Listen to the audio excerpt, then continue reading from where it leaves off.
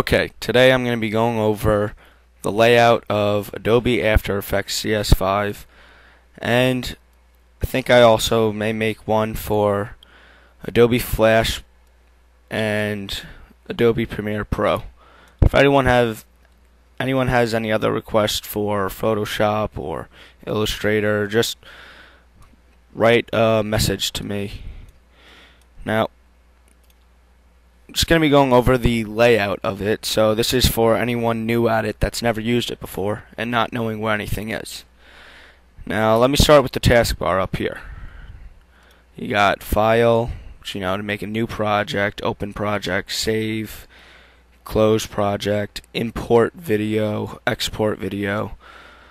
Then you got Edit, which does um, the undo, the cut, copy, paste, all that stuff. Here's composition. Composition is going to be um, where you make everything off of. So I'll click on New Comp. Here's the composition. You could do preset to whatever camera you have. Um, width, height, frame rate. Say you have a camera that has 60 frames per second. There's 60 frames.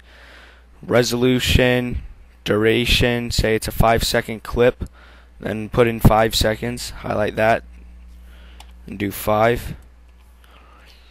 Now this is, over here is milliseconds, then seconds, minutes, then hours.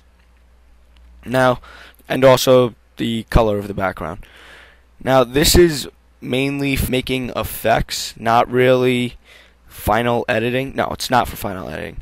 It's for making effects, and then you'd put it, once you export it, you'd put it into some kind of final um, editing program like Premiere Pro. Now this is one way to make a comp. Click OK and then there it is. And you know I could do like next is layer, so I'll show layer. You could do a new layer, text, solid, light, camera, any of these. I'll just do text. Then I could do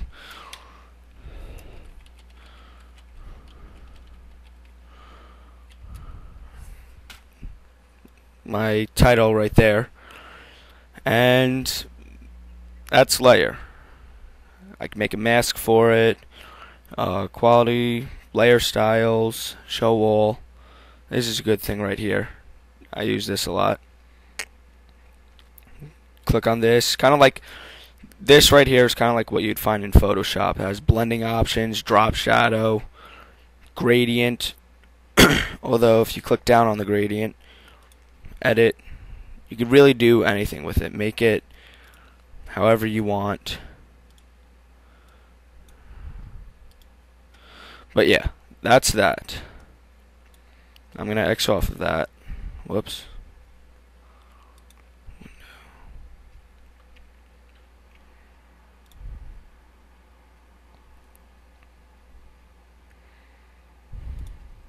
I'm just going to erase that now and get rid of that.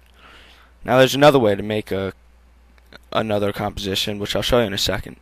Here's effects, which you can do many stuff with here, unless if you have optical flares or Twitch effect, you won't have Video Copilot.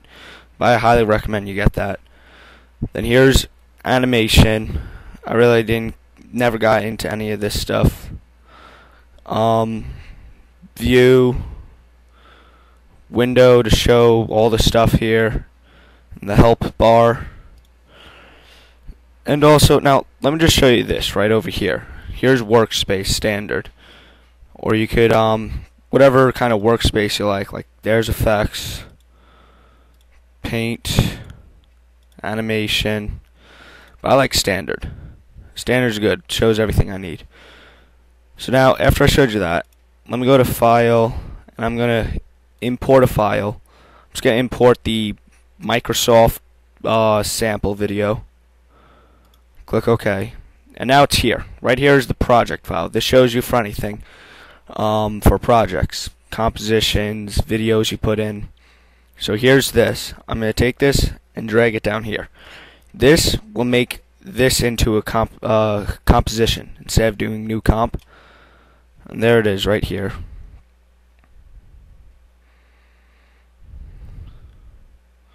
Okay.